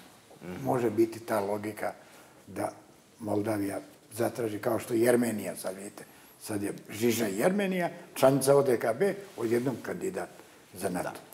Evo, ja bih gledao samo jednu stvar, izvinjavam se, propustili smo da kažemo ono što je veoma značajno za samu Moldaviju, dakle dve stvari. Prva stvar, naoružani Ukrajinci, odnosno proukrajinski nastrojeno stanovništvo u Moldaviji je uglavnom na početku specijalne vojne operacije pobeglo, da tako kažemo, u Odesu, odnosno u Odesku oblast, naročito u taj severni deo. I sa druge strane, u Moldaviji, to malo ljudi zna, i dan danas se nalazi jedan od najvećih vojnih magacina u celoj Evropi. S tim u skladu, Ukrajina um, još uvek uh, u velikoj meri strepi upravo od Prijednistrolja, odnosno Tranzistrije, koja, da, da podsjetimo gledalci, imaju svoju valutu i svoje zakone i slično. I dakle, uh, neki čak ljudi govore u samoj Ukrajini, kako sam ja to čuo, da potencijalni napad u Odesu može da bude iz dva pravca, dakle, s jedne strane, iz, dakle, kada Rusi povrati Herson, grad Herson i Hersonska oblast, pa Mikolajiv, pa neki desant na Odesu, i sa druge strane, upravo iz Prijednjestrovlja sa uh, svom tom količinom i koncentracijom oružja koju imaju. Dakle, najveći problem predstavlja upravo taj uh, vojni magac. I da nije njega, Moldavija bi uh, veoma verovatno uz određene ustupke postala član NATO-a ili a, Evropske unije, e, ja mislim da samo zato što je to u skladu trenutno sa situacijom i samo zato što to odgovara zapravo, ne zato što zapravo žele Moldaviju ili Ukrajinu. I rusko stanovništvo koje tu zaista živi. Tako je. Da vidite sada sledeću izjavu. Predsednik Francuske Emmanuel Macron apelovao je uoči današnje posete Pragu da je Evropi potrebno strateško buđenje jer, kaže, Rusija igra na vreme i rekao da ništa nije isključeno u debati šta sve može da se učini u pomoći Ukrajini. Est-ce notre guerre ou n'est-ce pas notre guerre U odgovoru na jedno pitanje koje mi je postavljeno o slanju jedinica u Ukrajinu, rekao sam da ništa nije isključeno. Svaka reč se računa. Upravo sada evropljani moraju da postave sebi pitanje da li njihova sadašnja strategija odgovara deklarisanim ciljevima. Našim demokratijama potreban je posticaj. Potrebno im je strateško buđenje otvaramo debatu i razmišljamo o svemu što može da se uradi u pomoći Ukrajini. Uvek sam se izjašnjavao kakav je naš okvir. Nismo u ratu protiv ruskog naroda i odbijamo da uđemo u logiku eskalacije. Ali Ukrajinci se bore za naše vrednosti, našu bezbednost i slobodu i naš pristup mora da bude adekvatan tom izazovu. Rusija je pretrpela niz strateških neuspeha. NATO je ojačan i doneli smo odluku da Ukrajina počne pregovore o ulasku u Evropsku uniju. Rusija sada nastoji da poverujemo da vreme igra za nju, a mi ćemo i dalje raditi sve što je potrebno i tako dugo koliko to bude nužno da propadne, kako to kalkulisanje, tako i njena agresija. Podsećam da su se krajem februara članice Evropske unije na konferenciji u Parizu dogovorile da učine više za Ukrajinu u pet oblasti. Sajber odbrani, zajedničkoj proizvodnji oružja u Ukrajini, za bezbednost zemalja koju direktno ugrožava ruska ofenziva, kao što je Moldavija u jačanju granice Ukrajine prema Belorusiji i uklanjanju mina. Bilatéral, ça peut être. Da li imate profesor utisak da predsednik Macron ne odustaje od prvobitne verzije svoje izjave, iako su se od te njegove izjave ogradile skoro sve njegove kolege iz Evrope? Pa ovde da vam kažem, normalno neće Macron potresti mnogo što će ja ovo reći. Ovaj. Znači, sve izjave koje dolaze iz Francuske ja ne smatram ozbiljni. Prvo, Francuska je istorijski od de Gaulle još. Znači, minirala Evropsku uniju. Francuska je vodila Evropsku uniju u početku, do imena Evropske unije. Pa je minirala Evropsku odbrambenu zajednicu. pa je minirala Ustav Evropske unije i tako dalje. I De Gola su smakli jer se približio Rusima i otvorio prema Kinezima. Od tada američka administracija nema nikakvog poverenja u Francusku i predloze koje dolaze iz Francuske. S druge strane, odlaskom Angele Merkel, Macron i zbog unutar političke situacije, a koristeći formalno stanje, ne zaboravimo, Francuska sedi u Savetu bezbednosti kao stalna članica. Jedno mu je rekla Angela Merkel, kad je podbeo nešto Nemačku, on je rekao, razmislite dobro ko će sedeti u Savetu bezbednosti. I Macron je začutio. Znači, ovo je više dizanje, da kažem, malo i nerealno Francuske unutar Evropske unije da se vidi ko je ko. Znači, džaba Evropska komisija, visoki predstavnik, savete, sve džaba dok ne kaže Macron. Tako da ovo, ono što je rečeno, dogovoreno, proizvodnja, pomoć Ukrajini, toga će biti. Ali ovakvi izlivi, da kažemo, visoko pozicionirani delatnosti koje namerava Macron nisu ni blizu realnosti. Ali vidite, on kaže danas da nije vreme za kukavičluk. Na koga misli? Ko je kukavica? Ko se uvredio danas i prepoznao u njegovim rečima? A, verovatno se zaigrao kao mnogo puta do sad, jednostavno. Možda mu je uzor Napoleon, ali očigledno da ne poznaje istoriju i ne zna kako, je, kako su završili oni u vreme tih uh, rusko-francuskih i Napoleonovih ratova. On je po meni port parol Vašingtona s tim što on izgovara ono što Vašington uh, ne želi da kaže i stidi se toga. Znači, daleko ozbiljniju politiku vodi, vodi naravno Amerika, a on izgovara sledeći je posle Zelenskog po, po olakom izjavljivanju. I, mm -hmm. i da kažem, na neki način davanju izjava koje su daleko od realnosti i koje treba naravno uzimaju se za, u obzir, ali koje su ozbiljne i koje treba ozbiljno analizirati. To slažem se potpuno sa generalom da, da će Evropa pomagati Ukrajinu, pomagaće do poslednjeg trenutka dok Ukrajina ne proglasi kapitulaciju i dok se ovaj sukob ne završi ali je činjenica da Francuska nije taj, da na kraju kraja Francuska ima previše svojih unutrašnjih problema kojima smo svedočili ovih dana i meseci unazad. Ali, kažem, činjenica je da ona pokušava da, da ostane dominantna ili bar jedna od dominantnih zemalja u Evropi, naravno pored Nemačke i na kraju krajeva i Velike Britanije.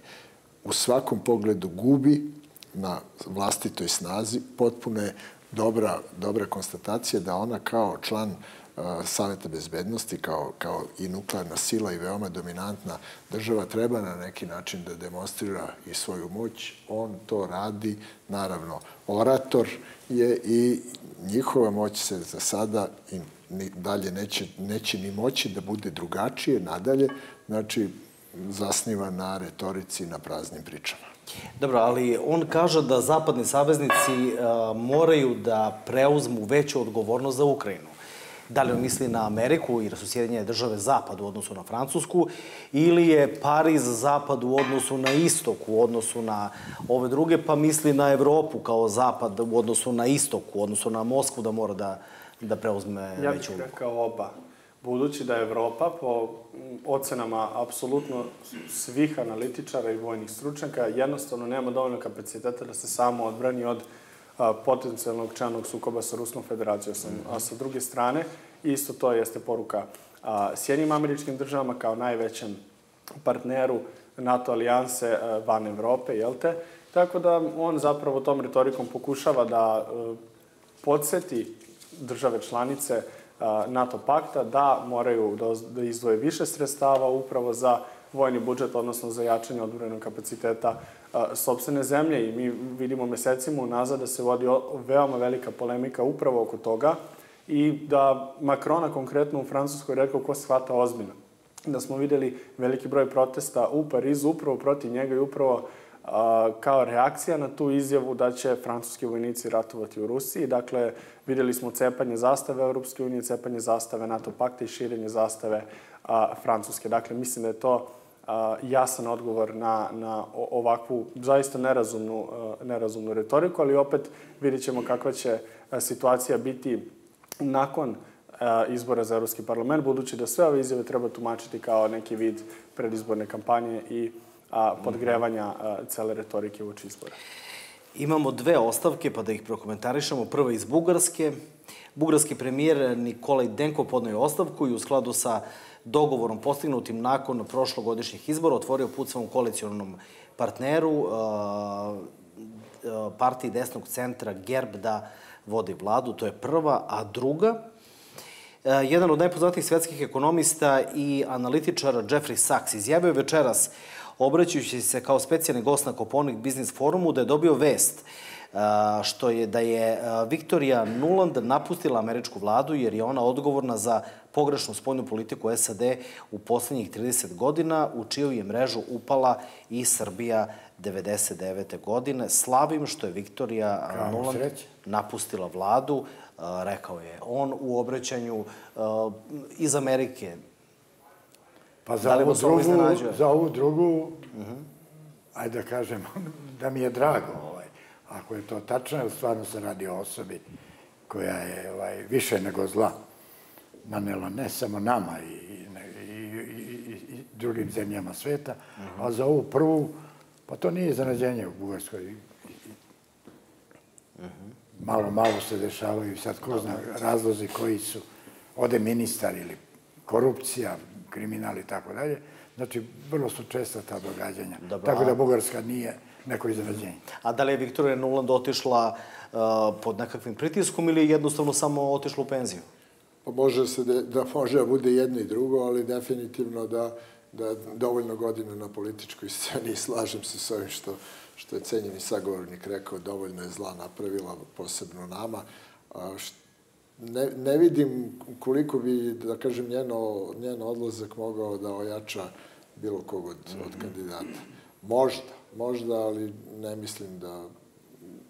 Možda ste potpuno u pravu kad kažete da je to, da je isteklo vreme. Mm -hmm. Šta što se tiče druge ostavke, nažalost, zločin bez kazne, koji se sada potvrdio. Što se tiče prve ostavke, ako ostavimo po strani političku volju i a, a, izbornu volju građana Bugarske kao i njihov socijalni kapital.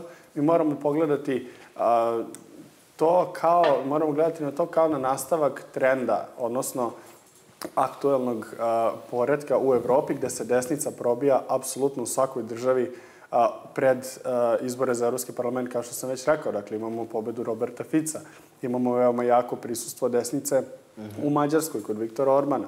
Nekada su to bili populisti, sada je desnica. Takođe, imamo a, u Nemačkoj veoma jako desnicu u vidu ADF-a, takođe u a, skandinavskim zemljama, u Portugalu, u Grčkoj, u Austriji, na kraju krajeva sada i u Bugarskoj. Dakle, to je jedan ozbiljan trend koji nam a, služi kao pokazatelj kako će izgledati a, slika, odnosno a, postizborna prilika u Evropi. Pa kako će izgledati Evropski parlament onda na jesen? Pun desnih stranaka, desnog narativa. Ja mislim da će prevladati upravo onaj narativ koji će se više okrenuti sebi, koji će gledati na životni standard, džep, socijalnu pomoć i primanja sobstvenih građana, a ne građana u Ukrajini, za koju većina tih, kako bih rekao, prodesnih, odnosno desnih ili pronacionalističkih stranaka u Evropi misli da uopšte nije deo Evrope. Dakle, mislim da će to upravo biti konstelacija i da možemo očekivati pobedu desnica, a nakon toga možemo očekivati apsolutno sve. Dobro, ali kome se još dodatno okreću ti desni koje ste opisali kao takve? Više Vašingtonu ili više Moskvi? Pa definitivno više Vašingtonu. Ne okreću se Moskvi samo iz jednog razloga, to je zato što većina tih desnih stranaka u Moskvu gleda kao protivnika. Dakle, na kraju krajeva, kao i većina levih stranaka, mislim da tu izuzetka u velikoj meri nema, ali da malo veće simpatije ima upravo ta desna varijanta u Evropi. A sa druge strane, Washington kao možemo slobodno reći, kolonizator Evrope nakon drugog svetskog rata definitivno jeste mesto na kom polože račune sve stranke i svih država Evrope, nebitno kakve orientacije ideološkog spektra. Da vidimo ponovo, molim vas, sliku iz Čačka, vest koja sada stiže na osmom spratu stambene zgrade u ulici Danice Marković u Čačanskom naselju Ljubić Kej. Večeras je izbio požar. Na teren su odmah izašle tri vatrogasne ekipe. Stanari su evakuisani. Zahvaljujući brzoj e, intervenciji vatrogasaca spasilaca sprečeno je širenje požara. Prema nezvaničnim informacijama nema e, povređenih požara osoba, to kaže načelnik štaba za vanredne situacije u Čačku, Bratislav Zečević. Saobreć u toj ulici privremeno je obustavljen, to su ti snimci s lica mesta. I da zaključimo sledećom pričom. Poljska je spremna da brani svoje partnere u NATO u bilo kom trenutku. Izjavio je danas predsjednik Poljske dok je posmatrao deo najvećih vežbi alijanse od hladnog rata. Współliderzy demokratycznego... Ovo su naše zajedničke vežbe koje jačaju bezbednost celog istočnog krila NATO-a. Poljska je spremna da u svakom trenutku sprovede naše obaveze koje proizilaze iz kolektivne odbrane.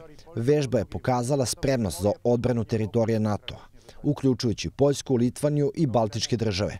Litvanija može da računa na nas da će poljski vojnici, ako postoji takva potreba, stati rame uz rame sa litvanskim snagama kako bi zaštitili svaki pedalj zemlje od neprijateljskog napada. Današnje vežbe uključivale su prelazak reke Visle, tenkovima i oklopnim vozilima iz raznih zemalja NATO-a tačke koja je široka 340 metara. Ovo je ozbiljan test za vojnike, ali pokazuje njihovu odlučnu pripremljenost i našu spremnost da pomerimo snage sa zapada na istok kao odgovor na mogući napad na NATO snage u našem delu Evrope. Niestety przybiera na sile.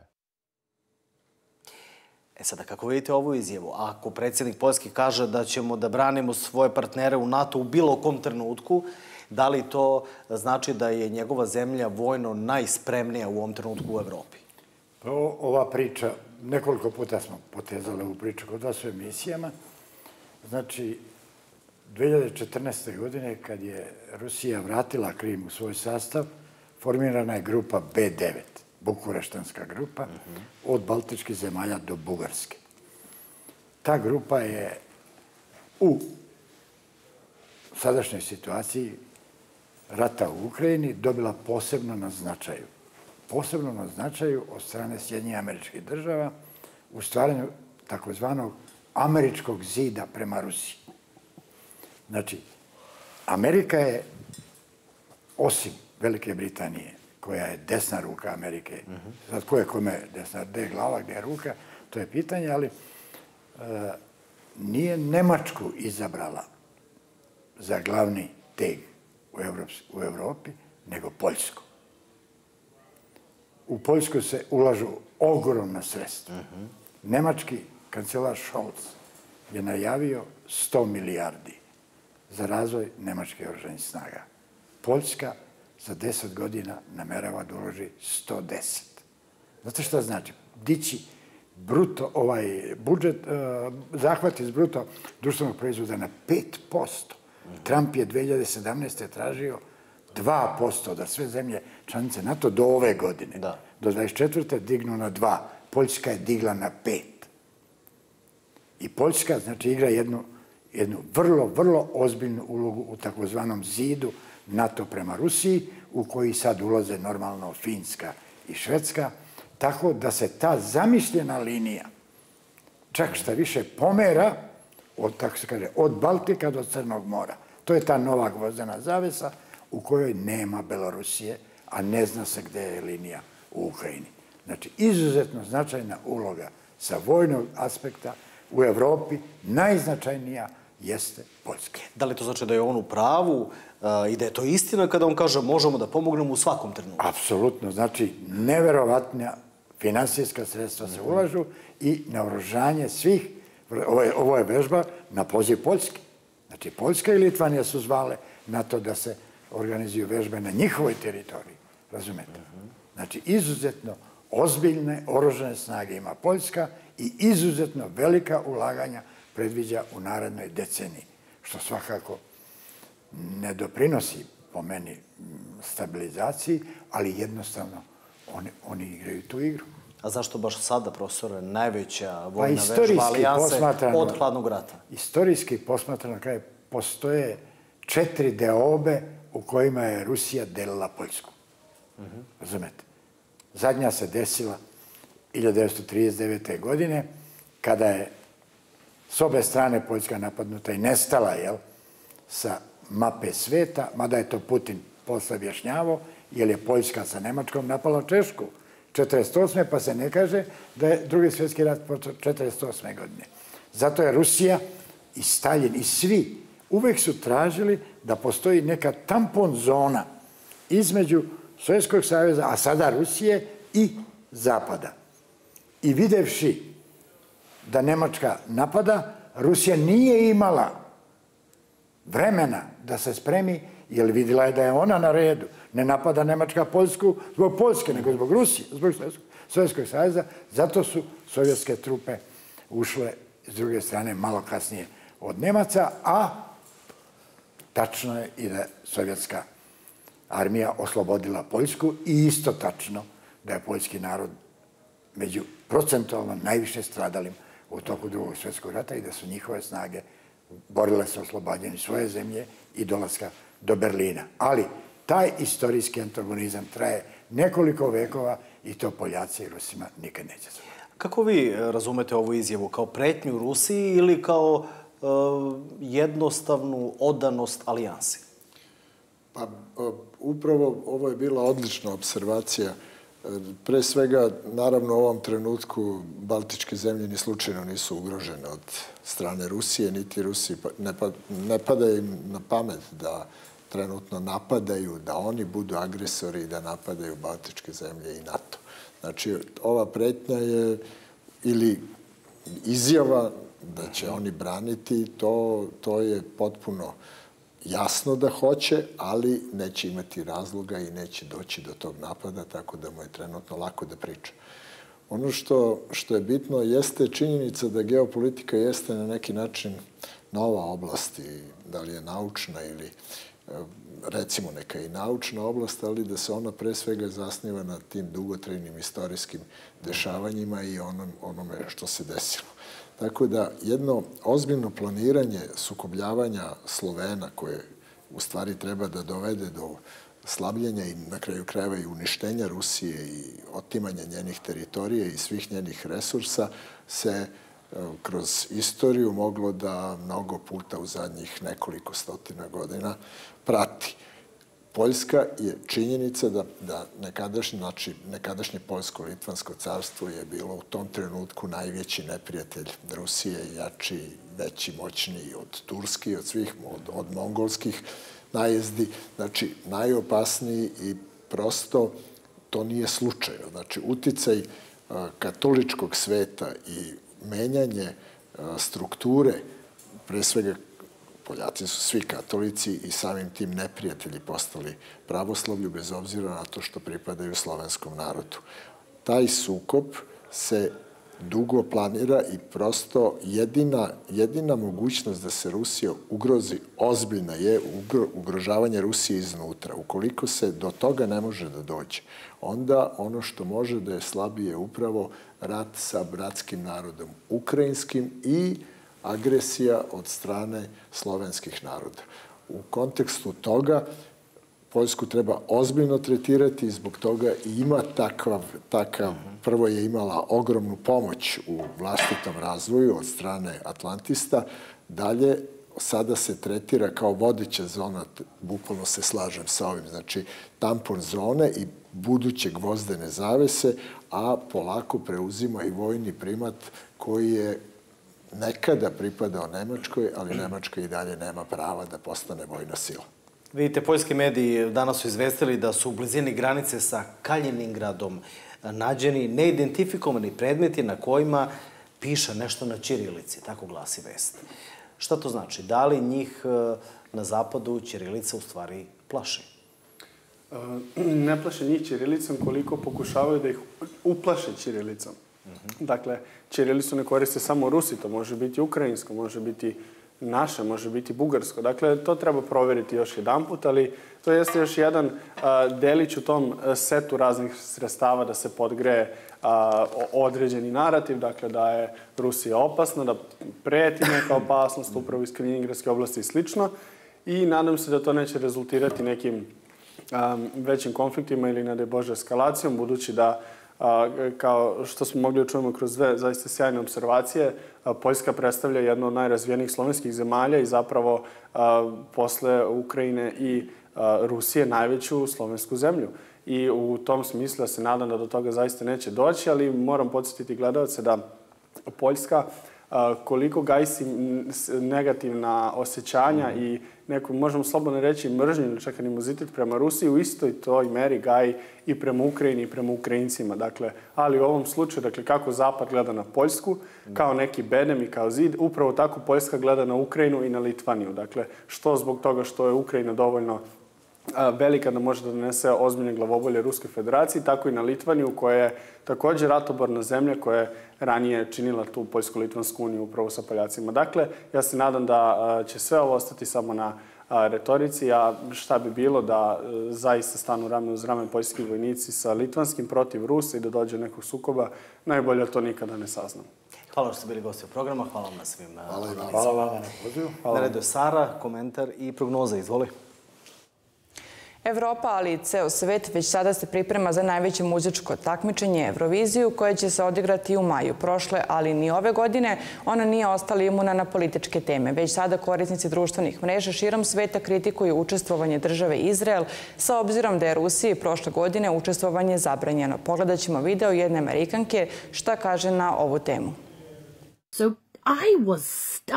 Bila sam šokirana kada su zabranili Rusiji da učestvuje na Euroviziji kada je Rusija napala Ukrajinu. Totalno šokirana, ne kažem da je to bila loša odluka ili da to nije trebalo uraditi. Samo kažem da sam se iznenadila i rekla u redu, Eurovizija se menja i svetske političke teme se uključuju. Zašto me ne iznenađuje da još uvek nisu najavili da je i Izraelu zabranjeno da učestvuje ove godine. Svuda sam im pisala komentare i slala sam mailove da zabrane Izrael. Ili imaš neko pravilo ili ga nemaš from the Eurovision Song Contest this year.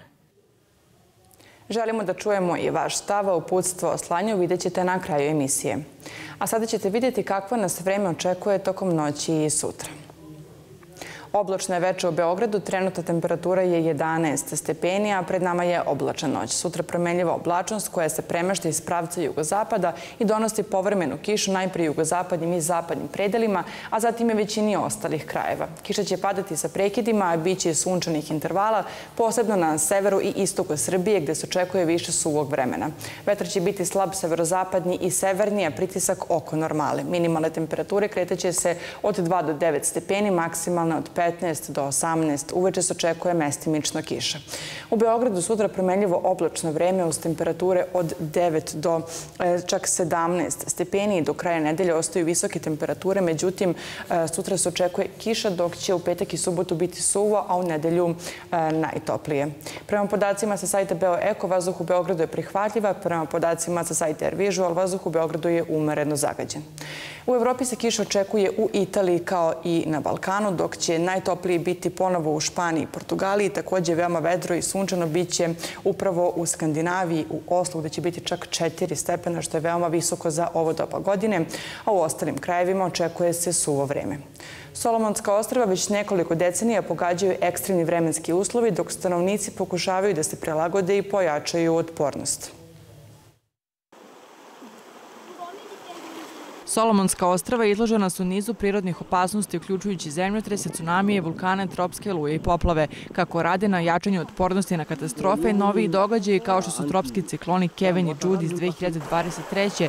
i tsunami Harold iz 2020. godine izazvali su manje rasprostranjene ljudske smrtne slučajeve, ali su ipak uzrokovali značajan gubitak sredstava za život i ekonomsku štetu. Suočavanje sa ekstremnim vremenskim prilikama postao je normalan način života za stanovnike Solomonskih ostrava. Najgore poplave bile su 2014. godine, kada su odnele domove, šume i čitave zajednice, ali svake godine poljoprivrednici moraju da se nose sa oštećenim usevima i prekidom na putevima koji sa čitave zajednice.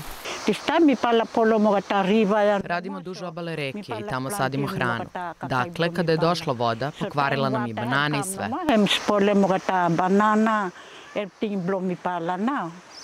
Povećana otpornost je očigledna kada se posmatra napredak Solomonskih ostrava u jačanju kapaciteta od 1986. godine kada je tsunami Namu ubio više od 100 ljudi i ostavio oko 90.000 bez krova nad glavom. Vetrovito je na severozapadu Evrope i u oblasti sredozemlja. Toplije je od proseka za ovo doba godine u većini predela, nešto hladnije u Francuskoj i u oblasti Alpa. Maksimalne temperature u Evropi kreteći se od minus 1 stepen u Moskvi do 18 stepeni u Atini. Sređane? Saro, hvala ti na informacijama o vremenu. Evo, sutrašnjih novina, informer, sahrana u Bačkom Petrovcu, majka iz pakla počivaće s decom, piše ovaj dnevnik.